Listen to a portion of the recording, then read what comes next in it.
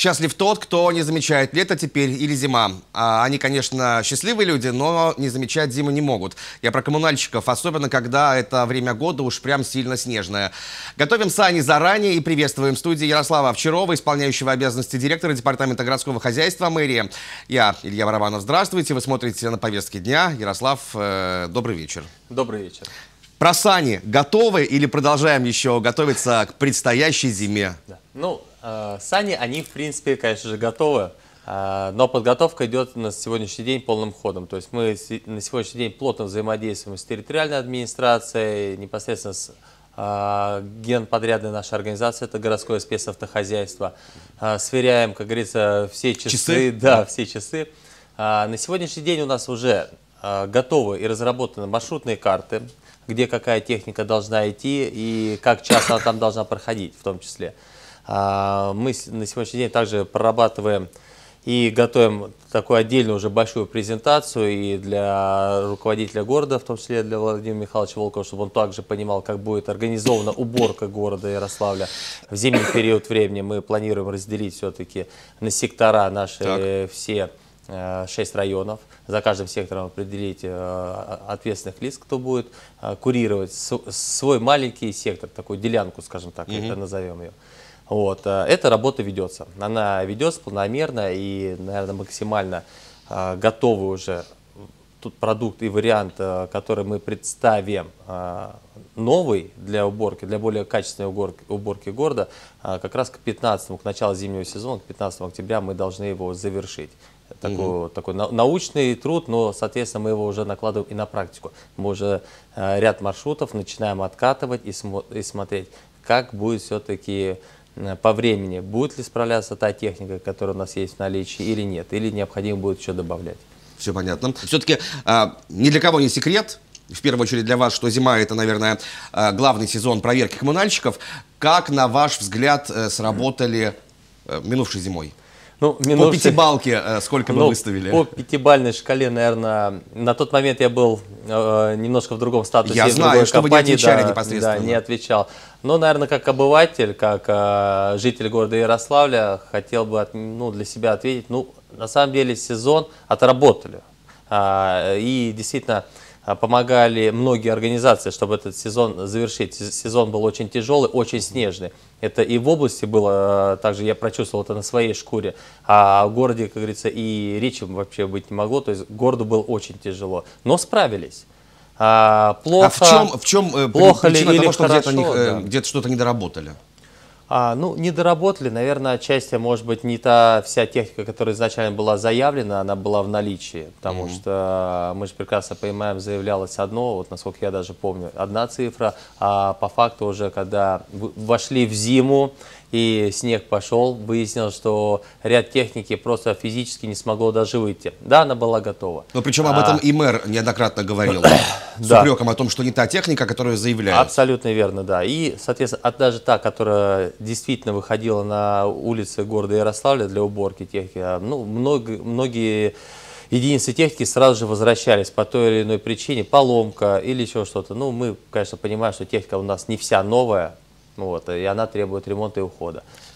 Ярослав, я так понимаю, что все-таки генеральный подрядчик – это городское спецавтохозяйство. Абсолютно верно, да. А новую технику предприятие закупило, планирует закупать до начала сезона? В планах есть вообще в целом, естественно, модернизация и обновление парка техники. А, большие планы мы возлагаем вообще на городское спецхозяйство не только на эту зиму, а вообще в будущем. То есть есть понимание и направление, тот вектор, по которому мы движемся для развития а, данного предприятия, чтобы все-таки 80% э, города мы содержали собственными силами.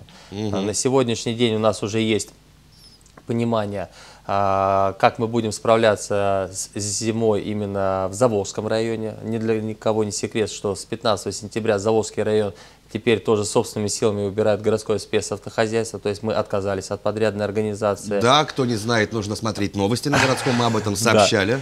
Вот, а, соответственно, эта работа ведется, она плановая, она ведется, то есть э, прорабатываем и дополнительные инвестиции. На сегодняшний день есть э, уже у нас ряд малой механизации техники, это количестве 6 штук появилась это э, тракторные щетки. Это именно тротуарная техника, которую мы планируем пустить, особенно на центральную часть города, на зону ЮНЕСКО.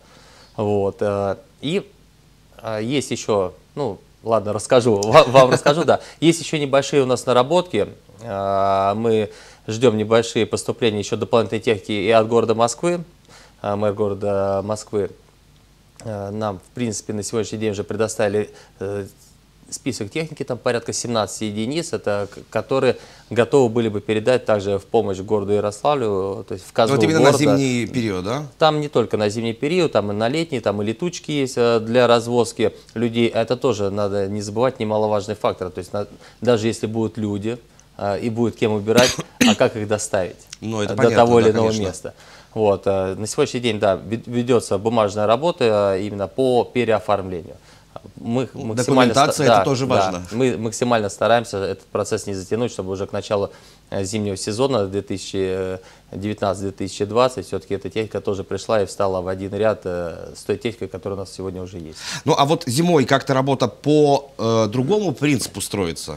А, да, мы прорабатываем новые маршруты именно их пересматриваем. Та старая схема, она немножечко не работала. Mm -hmm. И специалистами уже э, от заказчика, от департамента городского хозяйства и непосредственно при участии терадминистрации и генподрядчика э, прорабатывались новые маршруты. Они сейчас находятся на согласовании и на доработке. Отлично.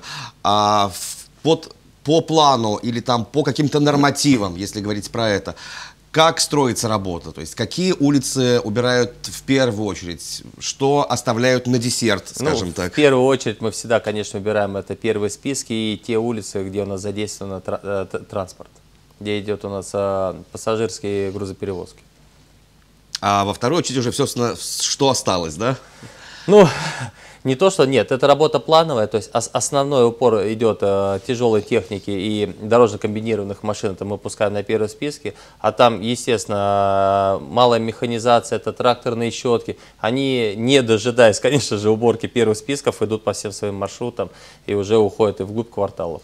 Ну вот если мне память не изменяет, то в прошлом году, равно как и в позапрошлом, у Департамента городского хозяйства было немало претензий к управляющим компаниям. компаниям. В этом году как-то пересматриваете свои свои взаимоотношения или нет? Опять же говорим про зимний период, да, про пора... уборку. Пытаемся, на самом деле пытаемся, уже были и постановочные совещания, то есть э, пытались выработать именно взаимосвязь, э, кто и когда, где будет убирать, потому что очень часто были нарекания, дворовую территорию убрали, mm -hmm. вытолкали все к нам непосредственно на уличную дорожную сеть, а тут уже идет э, наша коммунальная техника, и опять рабочие ругаются, говорят, мы же только что здесь проходили, все убрали, а опять нам снег э, вытолкали из э, дворовых территорий. И на самом деле эта же проблема была не только именно в улично-дорожной сети, но и зона ЮНЕСКО очень э, страдала от этого, то что несогласованности действий управляющих компаний и э, специализированных наших организаций, которые занимались непосредственно содержанием города. Особенно это касалось, когда уборка снега с кровлей. Э, у нас убрали тротуары почистили, все хорошо в ночь. Утром, начинается... выходит, утром выходит управляющая компания и начинает чистить кровлю. Соответственно, весь этот снег падает куда? Опять к нам на тротуар. Тоже работаем над этим э, моментом, постараемся, чтобы в этом году вот, э, этого не допустить. В каком случае вы э, переходите на круглосуточный режим работы? Ну, круглосуточный режим у нас работы будет, конечно, при обильных снегопадах, когда снежная масса будет уже в ненормативном состоянии, когда будет, будет действительно потребуется перейти даже не круглосуточный режим, наверное, а назовем это трехсменный режим. Так. Вот, по 8 часов э, будем распределять уже по сменам.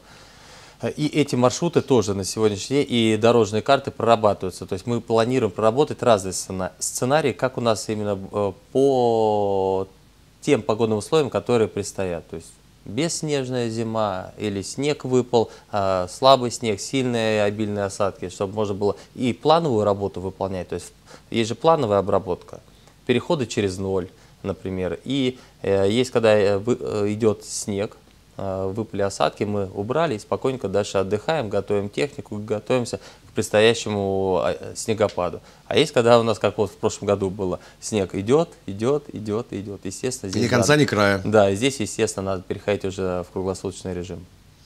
А что касается активности уборки, то есть все эти массы впоследствии куда э, вывозятся? Ну, у нас э, на сегодняшний день определено место складирования полигона, это недалеко от тех углерода. Его достаточно? Его площадь, в принципе, позволяет, да. Э, и прошлые года также справлялись. На сегодняшний день мы также прорабатываем еще одну площадку под временное складирование, это в Заволжском районе. Э, и также прорабатываем те временные площадки во время именно обильных снегопадов, куда можно было бы временно перевести снег, соскладировать. Да, скажем, уже, экстренно, да? Да, экстренно, да, и уже с последующей утилизацией на полигон. Ярослав, а что касается автолюбителей, э, часто встречаются, так скажем, неответственные, которые мешают коммунальщикам. А, ну Я, да. конечно, мог бы сам ответить на вопрос, потому что хожу по улицам, езжу по улицам и вижу, что часто на самом деле спецтехники, а, оставленные машины мешают. Но вот тут как только нужно взывать к ответственности, да, или есть какие-то другие способы, на ваш взгляд? Ну, ответственности, конечно, надо призывать, и все-таки действительно автовладельцев хотелось бы попросить, чтобы они не парковались а э, именно на улично-дорожной сети во время обильных снегопадов, для того, чтобы спецтехника могла быстро, оперативно вывести всю эту снежную массу. Но у нас есть э, запасной вариант, который сейчас тоже прорабатываем, это временные знаки. Мы совместно с э, ГИБДД разрабатываем схему именно в тех местах, где сложнее всего убирать снежные массы, но это необходимо выполнить в кратчайшие сроки. Э, планировали прибегнуть к временным знакам так. для установки временных знаков на таких участках, для того, чтобы автовладельцы, увидев знак, что на данной территории, например, почетным или нечетным э, числом, например, не парковаться и не оставлять транспортное средство на ночь, потому что в этом месте запланирована уборка в ночное время снега.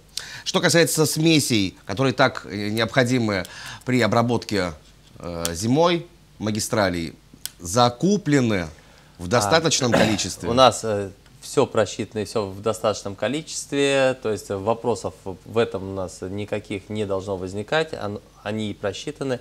Материал уже, часть материала уже находится на, в порту уже в городе Ярославле, и часть материала уже буквально на подходе. Э, будем планировать буквально со следующей недели уже перевозку, перевалку Э, данного материала на площадке городского спецхозяйства. То есть позитивненько смотрите на предстоящую зиму? Ну, по-другому. Спрос-то с вас впоследствии? Я, мы прекрасно понимаем, что спрос будет и с нас, а, но, к сожалению или к счастью, позитивно все равно надо смотреть на это, иначе кто как не мы. В любом случае будем работать, будем стараться справиться максимально с этими обильными осадками, которые мы ожидаем. Вот. И говорится, бессонных ночей нам никто не обещал. Согласен с вами. И главное, говоря о работе, чтобы эта работа была не над ошибками. И на этом все. Спасибо. Моим гостем был Ярослав Овчаров, э, исполняющий обязанности директора департамента городского хозяйства мэрии. Я не прощаюсь. Через несколько минут начну подводить первые информационные итоги дня. Ну а что касается программы на повестке дня, мы в эфире с понедельника по четверг в 19.15 только на городском телеканале.